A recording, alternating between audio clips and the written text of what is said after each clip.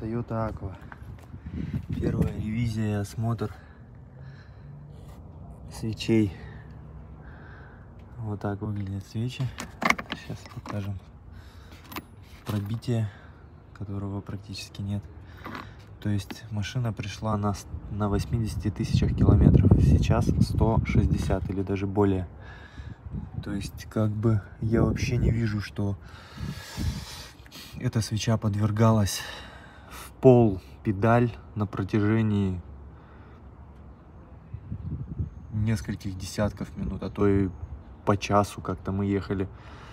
Просто дубасили на них как сатанисты. И представляете, эта свеча прошла, ну, грубо говоря, 150-200 тысяч, да, неважно сколько. Посмотрите на ее состояние.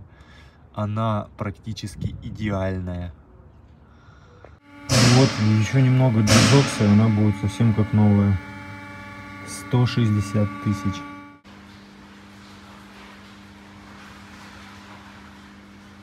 Еще немного дезокса.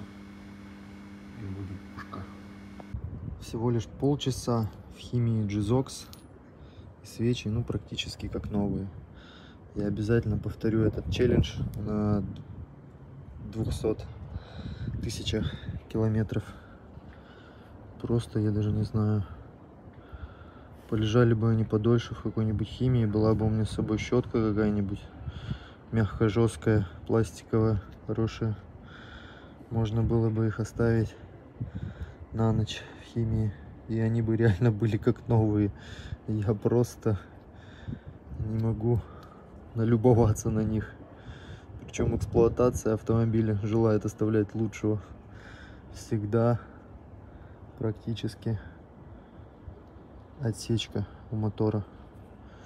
Э, Кстати, заправка НК Альянс здесь на постой. И 92 бензин. Это я только недавно начал лить 95 для эксперимента, но это вот 92 бензин.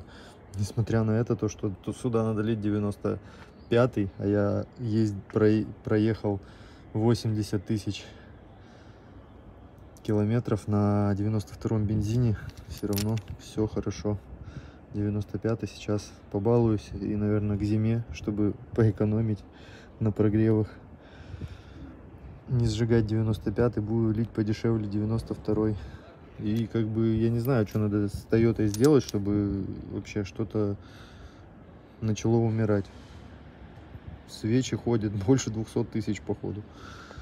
Отвечая вопрос, когда же все-таки на Тойоте, на неотжеванной временем Тойоте нужно менять свечи? Ответ простой. Никогда.